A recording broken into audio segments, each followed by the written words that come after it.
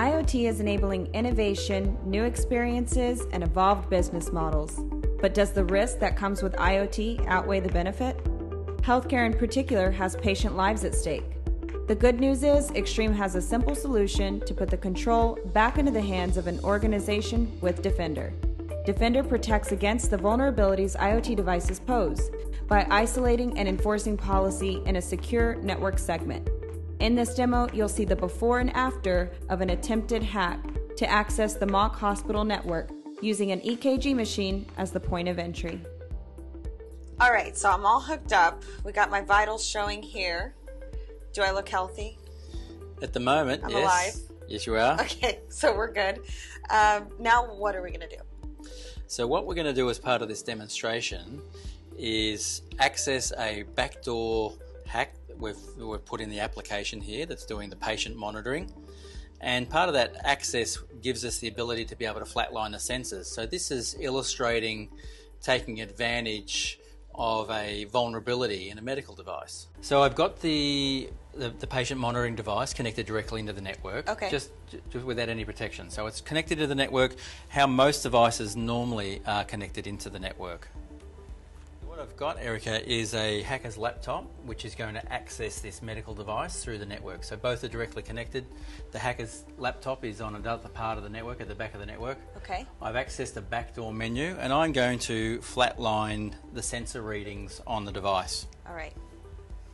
And what you'll see now is that I've I've taken advantage of a vulnerability in there, and I've been able to modify the results that are shown on this patient monitoring device. I see I'm flatlining slowly but surely. There Yep. you go. So they'll all go straight, and so you know, that's a pretty obvious example, but it is one that has existed. Um, problems like this have existed on medical devices in the real world. Got so just as you saw, I have to restore um, the sensor readings back to normal, and now we're going to protect the device and reattempt to hack into that medical device. Okay, let's see. Okay, so I take the Defender adapter. It is already connected into the Extreme Cloud appliance with a Defender application.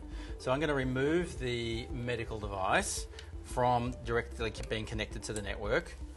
And so I'll plug that into the Defender adapter. So now that medical device is in line behind the Defender adapter and connected into the network.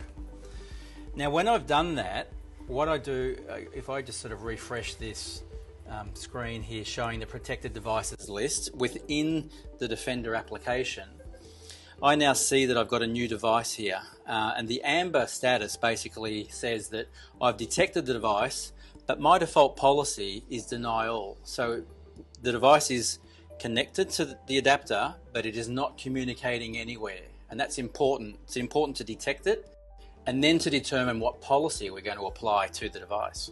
The premise of the Defender for IoT solution is that we use a whitelist model. Now we can do the inverse of that, but with the whitelist model, particularly for a device other than a, you know, as opposed to a user, a device, an IoT device typically only wants to talk to a constrained set of hosts or back-end application servers. And so by defining just the list of exactly where it talks to, including not to other devices maybe in the same domain, like east-west traffic, Right. but by constraining the con- communications, it means that we're only allowing that to talk to the places that it needs to, and we're blocking everything else. And that's how we protect the device.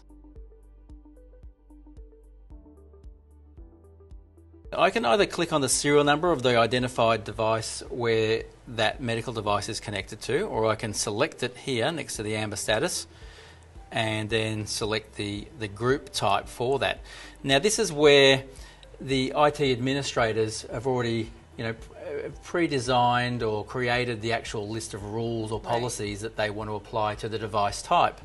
And in our case, we're going to select the ECG Pi group. It's my uh, electrocardiogram um, device, the patient monitoring device that I've got running on this Raspberry Pi kit. Right. And I'm going to select that as the group. And I've got a policy associated with that, a set of rules for that device.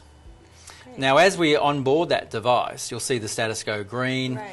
and then we will look at the results of, or what we can have a look at what policy is being applied to that device. And one cool thing I'm noticing here is that you could really, an IT administrator could set up the names of the policy groups to That's match right. the function that the medical administrators would recognize if they wanted to easily apply a group policy to a medical device on the hospital floor, for example.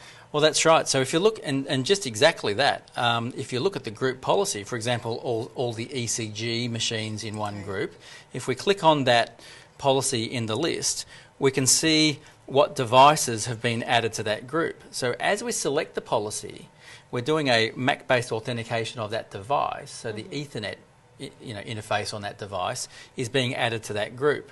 And we can see what role, uh, the role is the, so we can have a grouping of devices and then we can apply a set of policies or r- rules uh, where that device is allowed to communicate to. So if I go to the hacking machine now and I'll try and flatline your sensors, Okay. I'm just en- trying to enter the back door now. In fact, I can't actually, I can now no longer actually talk to the medical device.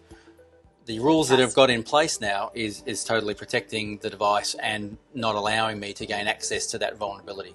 powerful demonstration. This offers a very easy solution for medical field, for manufacturing environments, retail environments, any industry that's leveraging IoT devices for innovation in their own business models can now easily protect against the vulnerabilities that may be exploited with IoT.